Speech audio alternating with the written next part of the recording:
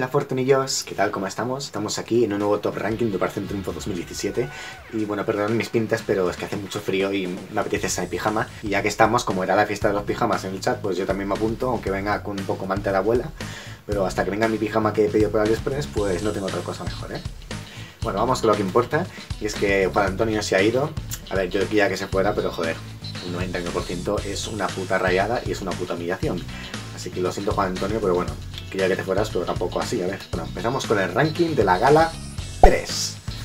En esta ocasión ya solo quedan 14, así que se salvan 10 y 4 son los nominados. Vamos allá. Quiero hablar primero con Mirella.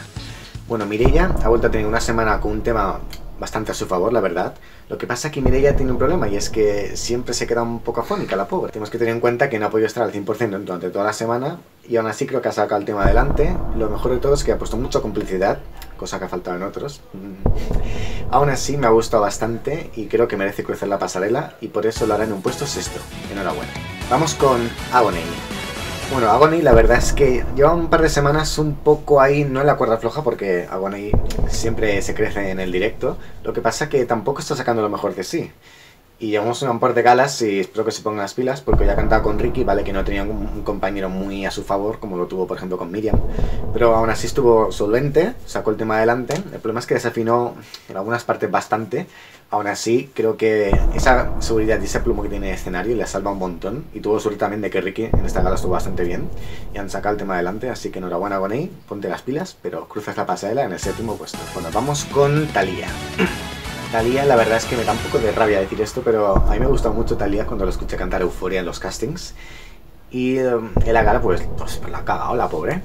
Es que acabó la primera nota, además. Y no hay nada peor que equivocarte en una canción y que sea la primera nota, porque es que es lo primero que va a ver de ti el público y, va a fijar la mirada en ti cuando empiezas a cantar. Y si encima, si encima lo hacen mal, pues. Los graves no son para Talía y encima era lo que le marcaron en la semana, le marcaron mucho el tema de los graves y lo fue solventando más o menos, pero es que ayer estuvo peor que nunca que los pases de micro.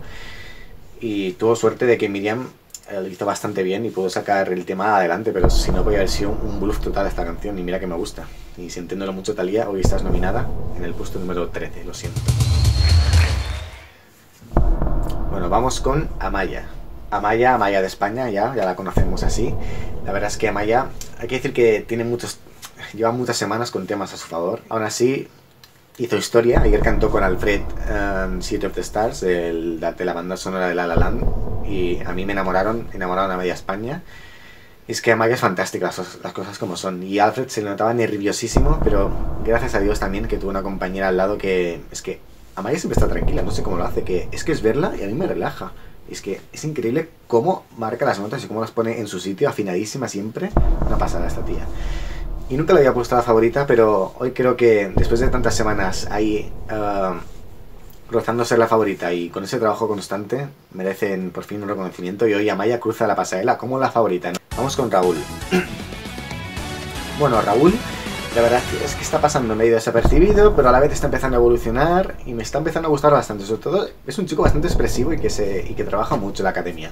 Y creo que ha trabajado muchísimo con Mireia, o sea, muy bien, ha trabajado muy bien con Mireia, porque han tenido muchísima complicidad, como he dicho. Y eso cuando cantan se agradece, porque, es, joder, mola ver cómo se, esas miradas, cómo se divierten. Y de verdad, a mí me encantaron. Y aunque no ha sido un tema de los que haya hecho historia, porque bueno, no, pasará sin pena ni gloria, pero a mí me gustaron. Y bueno, podrían haberlo mejor, sí, pero, pero ha estado bien. Así que para mí cruza la pasarela en un quinto puesto, enhorabuena. Vamos con Ricky. Bueno, Ricky hay que decir que cantó con Agony, la de Mientes. Y a mí me sorprendió Ricky porque pensaba que iba a ser Agony el que le levantara, o sea, el que le arrastrara a hacer una buena actuación, si es que hubiera sido una buena actuación.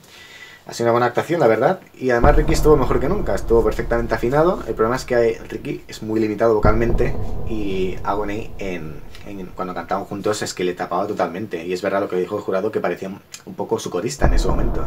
Pero individualmente Ricky estuvo muy bien y también eh, estuvo muy expresivo, contenido, no, haciendo esas, esas, caras que pone siempre. Y creo que eh, merece cruzar la pasarela esta vez, así que le pongo en el octavo puesto. Enhorabuena. Bueno, vamos con, vamos con Alfred. Bueno, Alfred, la verdad es que... Alfred tiene un problema, y es que creo que la gente espera demasiado de él y canta muy bien, pero creo que está un poco sobrevalorado. Si os fijáis, en todas las semanas que he ido cantando, casi, siempre ha sido de las mejores actuaciones de la gala, pero no, más que por él, por su compañero. Por ejemplo, en la gala 1 con Marina, Marina sobresalió encima de él, en la gala 2 cantó con Raúl y Raúl también sobresalió por encima de él, y en la gala 3 ha hecho una pedazo de actuación con Amaya, pero Amaya también ha sobresalido por encima de él. Y es que nos hace falta que Alfred también explote un poco eso, que, que se crezca también en el escenario y que no sea su compañero el que le el que le arrastre a hacer una buena actuación, que él también lo hace, pero parece que tira más él, ¿verdad?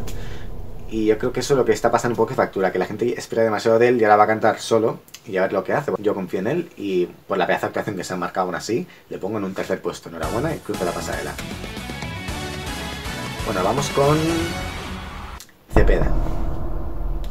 Bueno, Cepeda a mí la verdad es que me ha decepcionado bastante. Creo que empezó apuntando maneras, encima cantó con Aitana en la primera gala, es que, y fue una pedazo de actuación, las cosas como son. Pero creo que con las semanas se ha ido desinflando, el no sé decir el pobre, pero es que creo que tiene un carácter un poco complicado y difícil de entender y eso hace que no acaba de congeniar con todos sus compañeros y encima le han tocado pues los dos cosas que menos se lleva, Juan Antonio y Marina. Y la complicidad, que es la que tenía que verse en la canción, pues yo no la he visto en ninguna parte. Y eso ha hecho que Cepeda pues esté bajando en cada gala más el nivel y sintiéndolo mucho, Cepeda esta vez se queda el último con un puesto número 14. Lo siento, pero esto no. Vamos con Aitana. Bueno, Aitana le han hecho un, regalo, un regalito, es un caramelo que le han, lo que le han hecho a, Aitana. Es que esta canción no podía ser mejor cantada que por otra persona en la academia que no fuera Aitana. Y la ha demostrado, la canta perfectamente, quitando el inicio que ha estado bastante regulero, pero luego en el primer estribillo se ha sentado ahí y ha colocado todas las notas perfectamente. Ha estado súper expresiva, es que esta tía, es que tú, tú ves los primeros planos que le hacen y es que te quedas embobado. Y es que tiene Ángel, que es lo que le dijo el jurado, que muy bien, por cierto, Julia, la, que, la, jurado que estuvo de invitada, no podía definirlo mejor. Es un duende, lo que tiene Aitana, y es una pasada verla cantar. Y es que esta tía va a triunfar. Así que Aitana, enhorabuena porque te has recuperado, menos mal. Y esta vez cruces la pasarela en un segundo puesto. bueno, vamos con Marina. Marina, la verdad es que así como Cepeda, lo digo, me ha decepcionado con su actitud un poco pasota y desganado con Marina también me pasa lo mismo. Creo que apuntaba un montón desde la primera gala y se ha ido un poco desinflando. Y tiene ciertas actitudes Marina que no me gustan en, la academia. Es que creo que es muy... ¿cómo, ¿cómo, decirlo? Se lo toma todo muy a la, a la defensiva.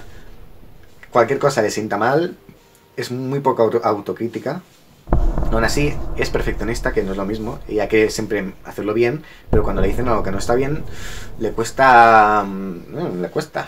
le cuesta entenderlo a veces, sobre todo si lo dice un compañero. Los profesores no, pero cuando se dice un compañero, uh, la tía cómo se pone, ¿eh?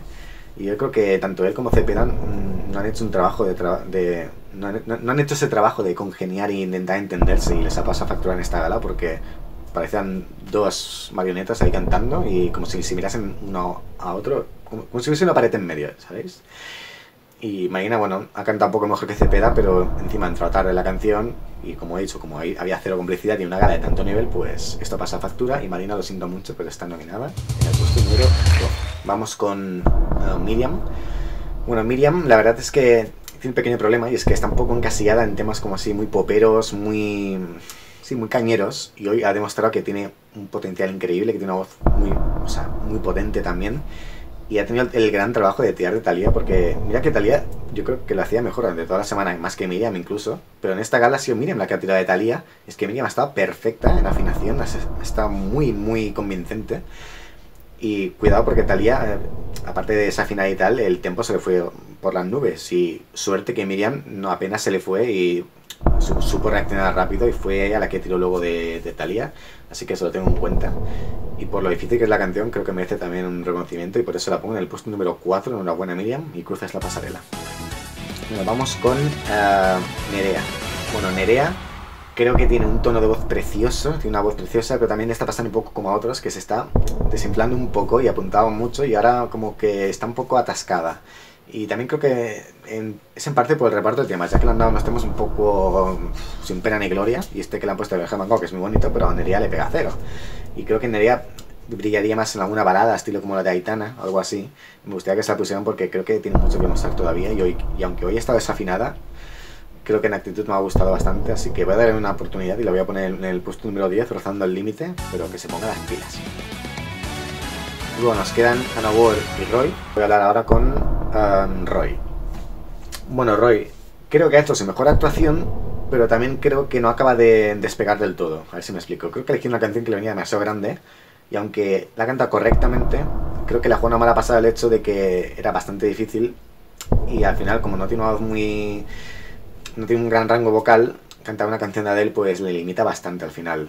Y como no sea muy expresivo y tal, pues yo creo que al final ese, eso lo ha conseguido, al menos a mí me ha llegado la canción que ha cantado. Lo que pasa es que vocalmente tiene varios fallos, todavía sigue... No, no le veo muy convincente todavía. Y llegamos a un punto en el que está empezando, están empezando a sobresalir otros, el nivel de esta era altísimo y sintiéndolo mucho, está, yo volvería a mirar a Roy, lo siento, bueno, hablar con Anna Ward, que ya sabe que está salvada. Y solo para decirle que está bastante mejor que nunca. O sea, está mejor que nunca Anna Ward, las cosas como son. Pero que no se confíe porque el nivel está muy alto. Y, está en una, en una tesitura en el que como falla un poco se va a ir al hoyo. Y es así. Y hoy, mira, ha, tenido suerte que otros han estado peor. Y ella ha mejorado bastante y eso se premia. Pero también porque son muchos, como si hubieran sido solo siete, por mucho que lo intente ahora mismo, no llegaría a salvarse. Pero bueno, yo le doy la oportunidad ha cantado incluso mejor que Nerea, se la ha visto disfrutar de escenario y aunque tenga fallitos, yo le doy la oportunidad, así que Ana Ward, felicidades porque cruzas la pasarela en el puesto número 9. Y bueno, estos son mis nominados, espero que os hayan gustado, ya sabéis que podéis comentarme aquí abajo a quién habréis nominado y todo eso, y por qué.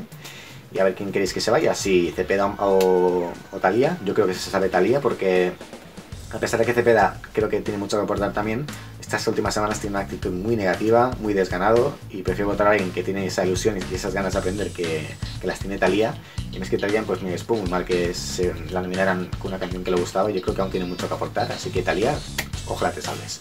Así que nada, nos vemos la semana que viene en el nuevo Top Ranking de la Gala 4. ¡Hasta luego!